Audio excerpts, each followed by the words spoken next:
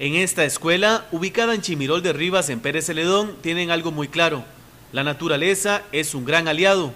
Por esa razón, los niños y docentes desarrollan diferentes proyectos que colaboran a no contaminar el planeta. Ok, entre los proyectos que tenemos está el de reciclaje. Estamos eh, enfocados mucho en, ese aspecto. Nuestros jardines este, se hacen en, llantas.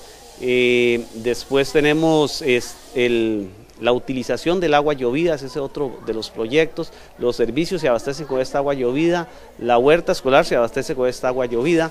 Tenemos biojardineras que nos garantizan no echar agua contaminada al ambiente. El agua se, se, purifica a través de este sistema. El aprovechamiento al máximo de los recursos naturales como el agua de lluvia y el sol se vuelven el pilar de la institución. Tenemos este, la misma huerta escolar, eh, se produce eh, la las legumbres, las verduras para los niños, lo que se pueda, su mayor parte. Eh, tenemos el otro proyecto de, de, mobiliario escolar a través de Los Pinos con los productos Tetrapac.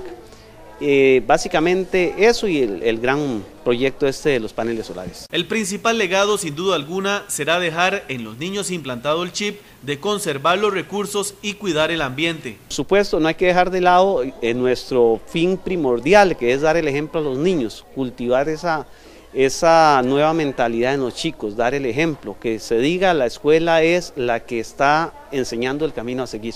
Entonces, principalmente esa es nuestra ganancia. A todo esto se suma la colocación de los paneles solares que abastecerán el 90% de la energía de la institución.